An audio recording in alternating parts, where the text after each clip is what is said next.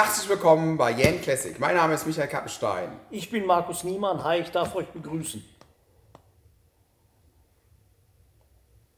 Markus, was verschlägt dich bei mir auf die Couch?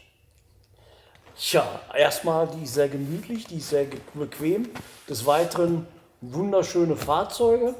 Hier hast du Benzin im Blut. Außerdem, du bist ein toller Typ. Ich komme mit dir super aus. Äh, Wir haben Spaß miteinander. Wir haben so ziemlich die gleiche Grundeinstellung. Und äh, ja, da kommt man dann auch mal gern zu Besuch. Und des Weiteren, denke ich, haben wir ja noch so das ein oder andere Projektchen, was wir beide bearbeiten wollen und äh, uns dann äh, dementsprechend dann auch beruflich ein bisschen annähern. Sehr schön. Ja, Markus, du siehst heute noch. Freue ich mich. Ich freue, ich freue mich, dass du hier bist. Ähm, wir kennen uns von aufpoliert und abkassiert. Das ist so der, der, der persönliche Kontakt, den Richtig. wir eigentlich erstmal hatten. Wenn man sich so irgendwo gesehen hat, ja, aber das war ja so, wo wir ein bisschen zusammen mitgearbeitet haben und uns äh, eine Woche lang auf der Pelle hingen und uns kennengelernt haben. Haben wir viele kennengelernt, tolle Charaktere, alle unterschiedlich. Ähm, aber irgendwie sind wir aneinander hängen geblieben und haben uns immer wieder ausgetauscht. Genau, wir haben also immer wieder tatsächlich und haben auch beide festgestellt, also ich zumindest, dass dein Fachwissen wirklich sehr, sehr, sehr, sehr groß ist und äh, sich gut mit meinem ergänzt. Und das, das finde ich schon toll. Also, Bei mir ist es genau umgekehrt. Ich bin so happy, dass du hier heute wieder sitzt, weil ich einfach sage, du hast bei so vielen Fahrzeugen ein Wahnsinnsfachwissen, wo ich wiederum lernen kann. Und das finde ich immer das Tolle.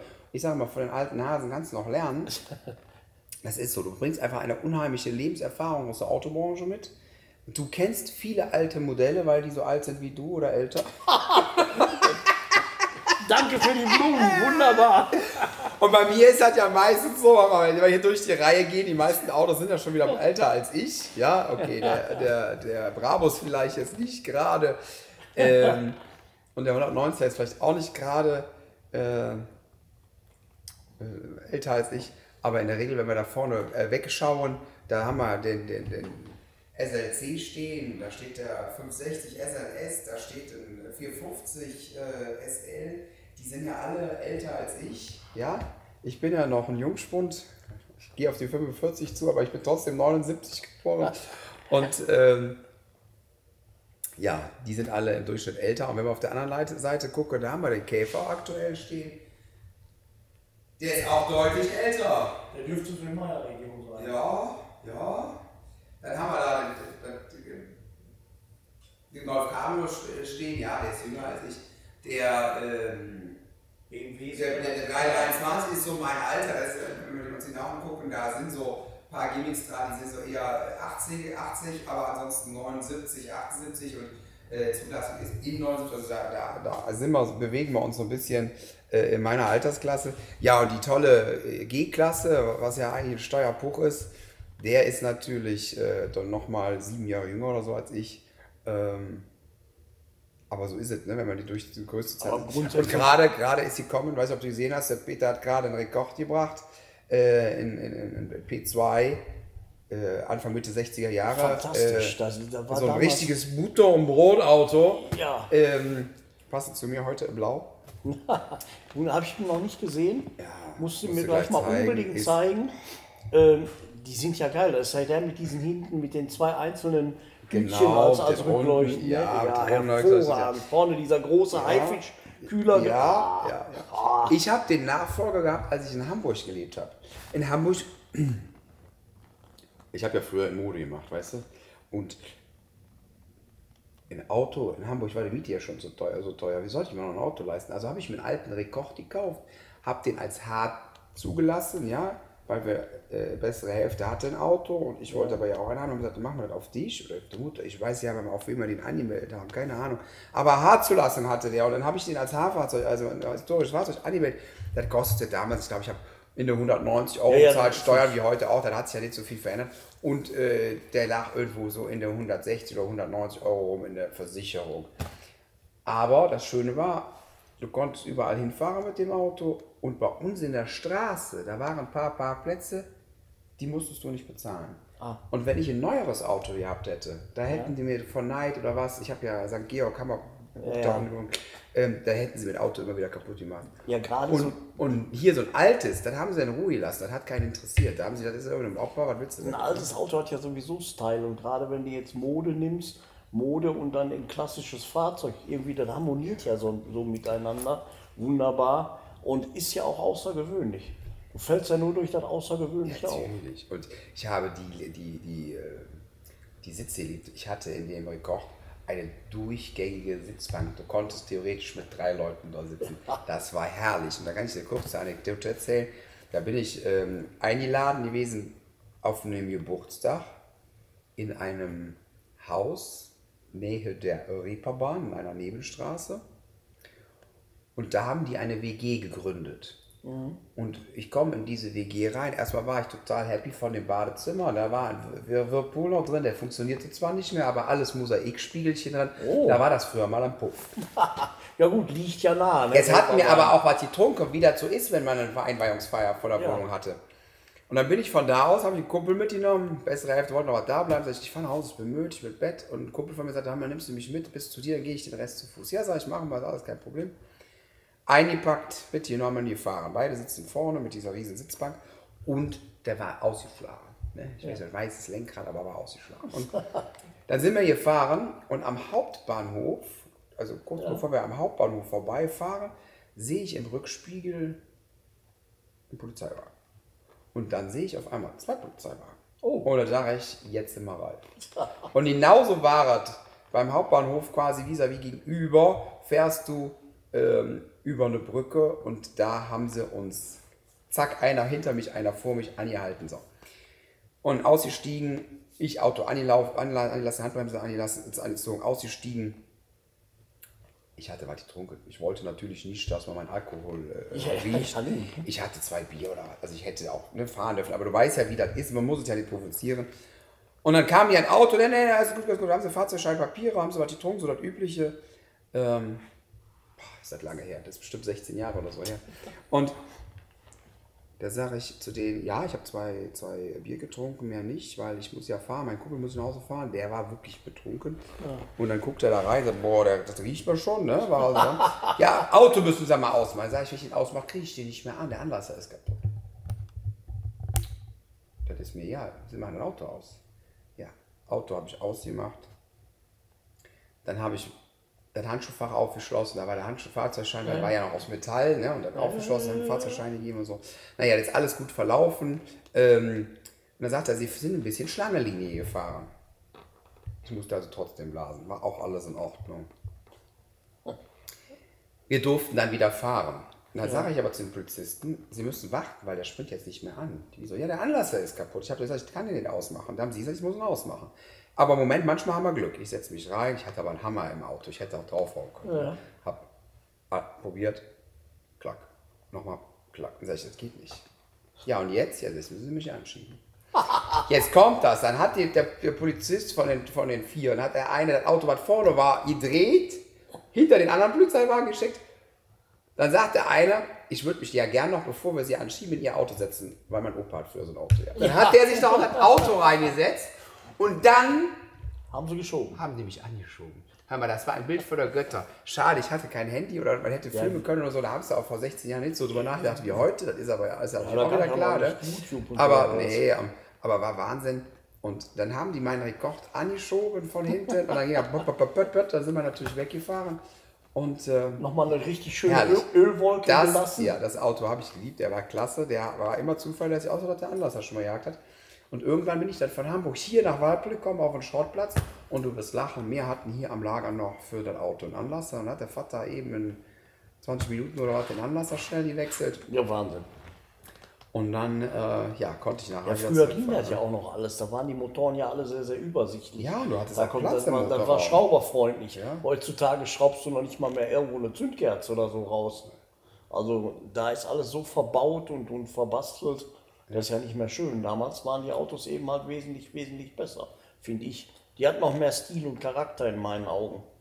Da war das nicht so ein Einheitsbrei. Nimmst du heute Kia, Hyundai, ähm, Toyota, Nissan, die ganze SUV-Bande aus Japan, das sieht alles gleich aus. Ist auch so. Ich habe als Kind halt auf dem Schrottplatz groß geworden, habe ich hier nebenan, im Nachbarbetrieb quasi, habe ich ja immer die ganzen Autos gesehen, wenn das zu Ende ging. Ja? Ja. Das heißt also, wie ich dann mal fünf war, da war das 84, da war so ein Auto, so ein Rekord, die standen ja schon da, dass die, dass die überhaupt noch da gestanden haben. Die waren ja meistens schon früher faul oder rostig.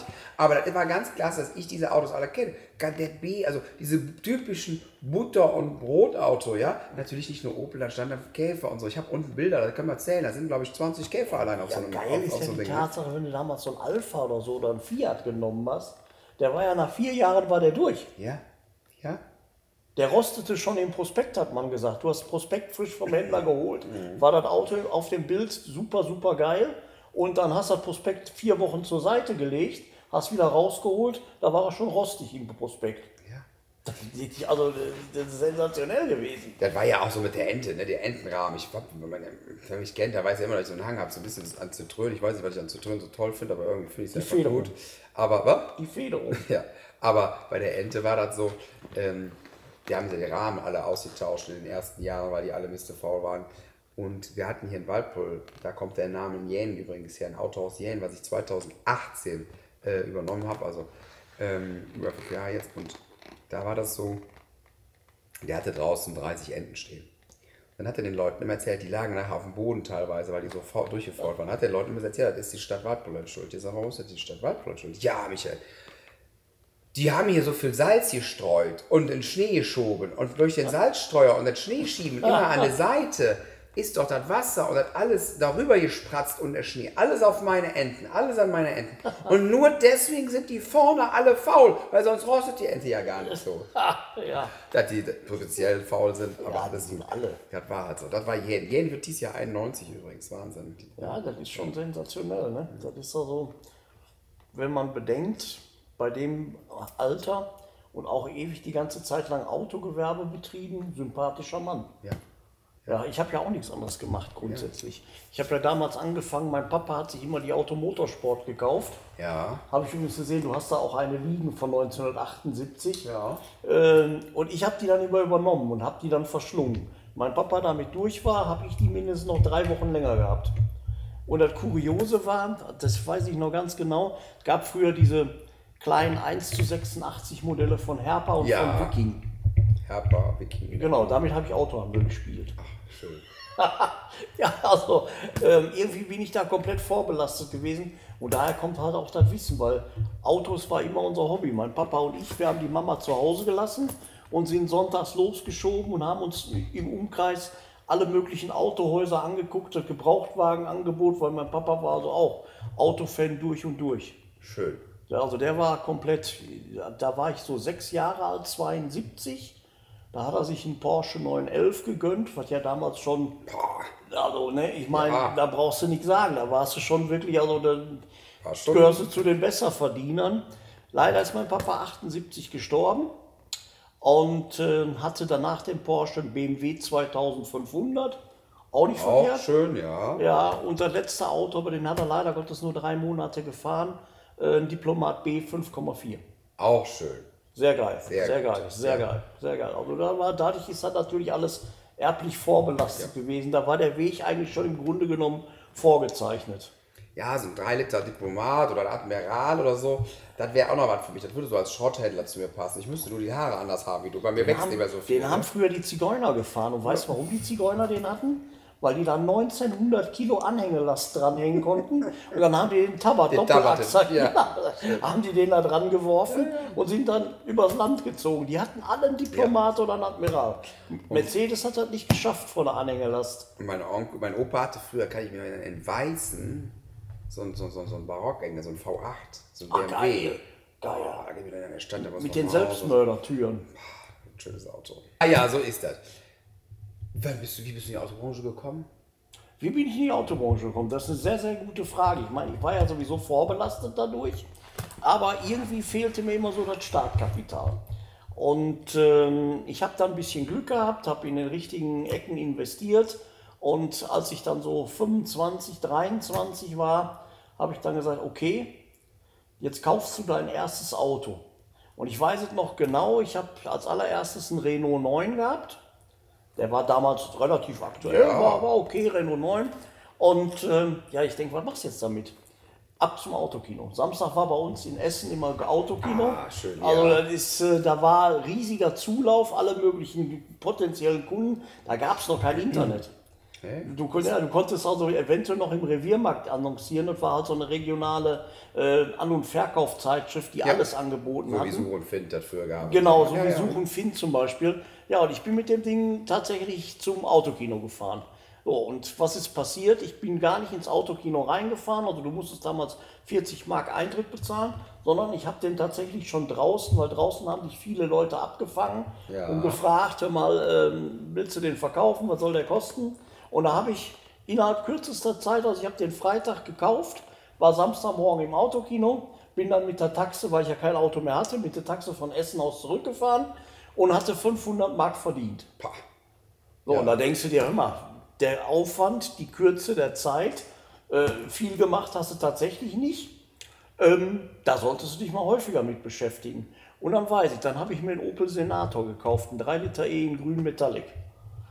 Da war ich schon etwas schlauer, den habe ich im Reviermarkt gekauft Mhm. und habe den eine Woche später im Reviermarkt wieder annonciert. Okay. Der brauchte allerdings 14 Tage, bis er verkauft war. Da waren dann auch wieder 500 Mark. Das war früher auch alles einfacher als heute. Ja, sicher. Ja, ja. Das war überhaupt gar kein Problem. Und dann kamen so die ganzen Kontakte. Dann habe ich festgestellt, dass ein Freund von mir Verkaufsleiter bei einem großen Opel-Autohaus in, in, in Gelsenkirchen war. Und dann habe ich den angesprochen und habe gesagt, hör mal, wenn du irgendwas Interessantes hast, sag mir Bescheid. Ja, und dann, klar, dann kommt auf einmal Dann geht das rund wie dann, ja, dann ist Genau. das wie, als, als wenn du äh, ja, frische Brötchen anbietest. Ja. Dann rief der mich immer an, ja, ich habe hier einen Commodore Kombi, komm vorbei, hol den ab und äh, verkauf den. Na klar, früher war es noch so, muss ich dir nichts vormachen. Ähm, da haben die Verkäufer sich immer noch ein geiles Zubrot erwirtschaftet, in dem Moment, wenn die die Autohändler angerufen haben. Ja. Bei mir gab es also pro Auto 150, 200 Mark für die Vermittlung. Dafür war der natürlich auch vom Einkauf her sehr, sehr super preiswert. Und da konntest du natürlich gute Geschäfte machen. Zumal der vorher durch die Werkstatt gelaufen ist beim Ankauf. Ich wusste also ganz genau, was mit dem Auto los ist und konnte ihn dann auch meist immer problemlos verkaufen. Ja. War, waren einfach andere Zeiten, das geht heute nicht mehr. Ja, das das, war, so, ne? das war so mega. Auch eben halt die Tatsache, ähm, dass es kein Internet gab, weil Internet ist Fluch und Segen zugleich. Ja, Ne? ja, ja. So, da war tatsächlich nur diese Such- und Find- bzw. Reviermarkt. Ja. Und da hatte ich dann auch schnell einen Draht zu. Dann habe ich den Tag eher bekommen. Der ist Samstag erschienen, ich habe ihn Freitag bekommen. Ja. Und dann habe ich mir natürlich die Schnäppchen rausgesucht. ne? Natürlich, Da hast du die Leute nachts, das weiß ich noch, als wäre es gestern, da habe ich die Leute nachts um halb eins angerufen, die ein Auto anzubieten hatten. Jetzt war das ja glücklicherweise von Freitag auf Samstag. Das heißt, die meisten hatten also frei. Ja, So, und dann, die, die waren aber auch alle freundlich. Also da war nicht einer, vielleicht haben sie mal gesagt, ja, haben sie mal auf die Uhr geguckt oder so. Aber dann sage ich, ja, aber sie wollen ihr Auto verkaufen. Ja, ja, ich sage, dann komme ich jetzt. Dann war ich meistens irgendwo um 2, 3 Uhr, war ich dann vorstellig und habe dann da schnell ein Auto gekauft, bevor halt von morgens das Telefon klingelt. Genau. Ja, genau. Ja, ja, Klasse, ja. super. Ich kann mich auch noch super daran erinnern, war auch mega geil, war ich mit einem Kumpel unterwegs. Ich war sogar verheiratet zu dem Zeitpunkt. Meine Frau saß zu Hause, Heiligabend. So, Heiligabend, Tannenbaum stand schon, alles Geschenke waren alle gekauft. So, ich musste noch einen 280 SE abholen aus Halver. Sind ein paar Meter, sind so 70, 80 Kilometer. So, ich mit meinem Kumpel los, den 280 SE abgeholt. Und dann während der Fahrt stellt er fest, er guckte so den Reviermarkt durch und fand einen 633 CSI. Und der ist auch Autofan. Da sagt er mal, den 633 CSI, den muss ich haben. Ja, ich sage, oh, was machen wir denn? Ja, sagt er, ich rufe den jetzt mal an, da fahren wir noch hin. Dann hat er den tatsächlich angerufen, irgendwann nachmittags um 16 Uhr und der Wagen stand irgendwo bei Krefeld. Und dann sind wir tatsächlich von Halver nach Gelsenkirchen den 280er abgestellt. Dann Stress gehabt mit der Frau, weil ich ja jetzt noch mit dem Kumpel nach Krefeld gefahren bin. So, der Braten stand schon fast auf dem Tisch, die, die Kerzen waren schon an. So, wir kamen bei dem Mann in Krefeld an. Der machte uns die Tür auf und hatte sein Hähnchenknochen noch im Mund, weil die waren schon bei Bescherung und, und, und äh, Abendmahl. Und wir, ja, hi, wir sind wegen dem 633 hier. Ja, war so 18 Uhr, dass wir da waren. Ja, dann kommst du von Höchstgen auf Ja, Stöcksken, ja. kaufst dein Auto, bezahlst Kaufvertrag. Auf jeden Fall Ende vom Lied war, ich war zu Hause um halb neun. Meine Frau hat vier Tage lang nicht mehr mit mir gesprochen. Und Bescherung war gelaufen, der Braten war verbraten. Also es war wirklich nichts mehr so weihnachtlich, wie es war. Aber wir hatten 633 CSI, das war noch mehr wert als alles andere. Hast du die Frau noch? Nein, Ah, die, ist schon, die ist schon seit 20 Jahren, glaube ich, ach, 20, 30 Jahren schon weg. Nee, nee, Dann hättest du die mal gepflegt. Zuletzt warst du in Witten unterwegs. Ich habe dich immer noch in Erinnerung. Du warst, hast was mit Jean-Pierre gemacht und, und viel im Ja. Fernsehen und Ja. du warst immer unterwegs, bist, wie sagt man so bei uns hier, äh, bekannter Hund, bunter Hund, bekannter Hund, äh, wie man so sagte, ne? in, in, in, im, im Pott. Und zum Schluss warst du bekannt bei Kultcast. Äh, Kultcast. Ja, richtig? genau, genau. Ich war in Witten bei Kultgas, ähm, hatte einen Partner zu dem Zeitpunkt auch. Und ähm, ja, der ist aber leider Gottes aus gesundheitlichen Gründen musste der ausscheiden. Dann ist Kultgas an zwei andere Personen gegangen. Ähm, die haben sich aber in einer fixen Idee einfach übernommen. So, und dann war natürlich das Ende vom Lied vorprogrammiert. Also Kultcast gibt es unter dem Namen Kultcast nicht mehr. Schon lange nicht mehr. Okay. Das, das, war dann Garage 46 und, Ja, auch und jetzt ist es irgendwie Ist eine ganz andere Okay. Firma geworden. Ja, und Fernsehen ist halt, ja, ist klar, ich bin natürlich überall äh, bekannt. Auf Messen, in, im Ruhrgebiet, man kennt mich überall als den Autohändler aus dem Pott. Ja. Ähm, aber da bilde ich mir nichts drauf ein. Na, alles gut. Du bist ja auch, egal, wenn man dich, egal wo man dich trifft oder dich sieht, du bist immer natürlich, immer ganz bodenständig. Genau. Ähm, Bei ja. mir gibt es immer ein Ein Lächeln. typisch freundlicher Potter. Genau, bei mir gibt es immer ein Lächeln, selbst wenn ich noch so mies gelaunt bin. Aber das ist nun mal so, man muss einfach sagen, die Leute, die hinterm Fernseher sitzen, machen dich im Fernsehen zu dem, was du bist. Und das heißt, dann hast du auch die verdammte Verpflichtung, denen gegenüber freundlich entgegenzutreten, denen die Wünsche zu erfüllen und dir auch mal Zeit zu nehmen, mit denen zu sprechen. Dir selber, dir wird das nicht so bewusst, du kennst dich dein ganzes Leben lang, das ist dir vollkommen egal, dass du jetzt einen gewissen Bekanntheitsgrad hast. Aber du kannst dir nicht vorstellen, wie viele Leute tatsächlich äh, dich ansehen und denken, boah, wobei das ist gar nicht gerechtfertigt. Wozu? Ich habe nichts gemacht, was mich besonders hervorhebt. Außer dass irgendwelche Produktionsgesellschaften da waren, die mich halt so ein bisschen. Du bist halt eine haben. Type, du bist eine Charaktere, die gibt es nicht mehr so häufig. Ja. Auch im Pott sind die seltener geworden. Das ist halt einfach Du merkst so. Ne? auch Leute, gehen, dir, treten dir gegenüber, beziehungsweise treten dir nicht gegenüber, die gucken dich an, gucken dir auch nach und dann hörst du das Getuschel, die trauen sich dann nicht und das verstehe ich nicht. Ich bin immer freundlich, mich kannst du jederzeit ansprechen. Wir waren ja selber auf der Messe unterwegs. Ich habe für jeden offenes Ohr, ich bin für jeden da. Also wenn ihr mich irgendwo seht, sprecht mich an, gefällt mir besser, als wenn hintenrum dann, ey, das ist doch der aus dem Fernsehen. Ich bin der aus dem Fernsehen und ich bin total natürlich und freundlich zu jedermann. So wie der Michael. Ja. Jetzt äh, sitzt du bei mir auf der Couch. Du hast viele Kontakte Nee, mitgebracht. Moment, stopp. Ich sitze auf dem Sessel, du sitzt auf der Couch. Genau, eigentlich haben wir ja da hinten noch die Couch. Weißt du, dann sitze sitz ich da, dann können die Leute sich da hinlegen. Mach mal einen auf Psycho. Nein, Quatsch. Also, genau, wir sitzen hier äh, auf der Couch oder auf dem Sofa. Ja, die Psycho-Couch, die brauchen wir auch. Nein. Ja, wenn du Katar, also ich habe solche extremen Kunden manchmal, da ist die wirklich vonnöten. Da denkst du dir auch manchmal, wo bin ich jetzt hier gelandet? Schön. Kennst du doch auch. Ja, natürlich. Aber wir sind ja auch da, den, den Kunden zu helfen. Wir nehmen das, das Geschäft den gerne ab oder die Arbeit ab. Äh, Ja. Du hast viele äh, äh, Kunden aus deinem langjährigen äh, Bekanntheitsgrad oder Kundenkreis, die immer wieder auch Autos vermarkten wollen. Du hast auch einige Kunden quasi mitgebracht. Du hast gesagt, Michael, hier, äh, guck mal hier, tolle Autos und äh, machen wir was, haben wir was. Machen wir. Wir haben uns entschieden, uns hier auf die, ich sag mal, auf die Couch zu setzen oder du in den Sessel.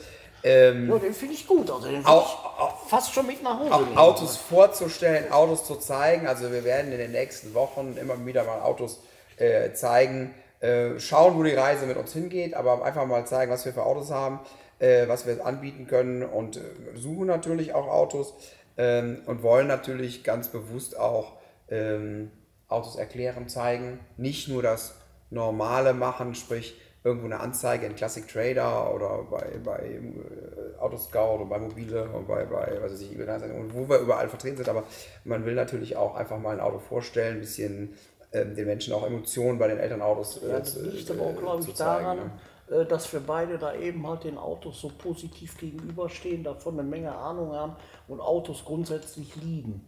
Ja. Ich behaupte jetzt einfach mal, dass wir beide Autos lieben. Und dann teilt man natürlich auch gewisse Ansichten und auch gewisse Autos teilt man sehr gerne. Ja. Denn wer hat schon die Möglichkeit, sich meinetwegen jetzt, so wie du gerade erwähnt hattest, einen alten Rekord Page 2 anzugucken? Ja, das ist halt ein Mutter- und Brotauto, ne? Ja, war das es halt davon, die schön. existieren heute nur noch wenige. Richtig. Den siehst du auch nicht mehr auf der Straße. Richtig. So, und dann freue ich mich, wenn ich den Leuten zeigen kann, guck mal, so sah das damals aus, so lief der damals und die Leute können da haben einen Einblick, wie der Wagen damals war. Ja. Und das finde ich dann einfach auch prima. Genau.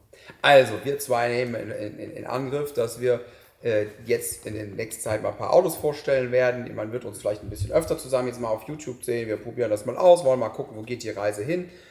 Am 27. Mai haben wir gesagt, Mensch, kommt doch mal alle zu uns beiden hierhin. Ihr könnt hier uns die Auto, euch die Autos bei euch anschauen.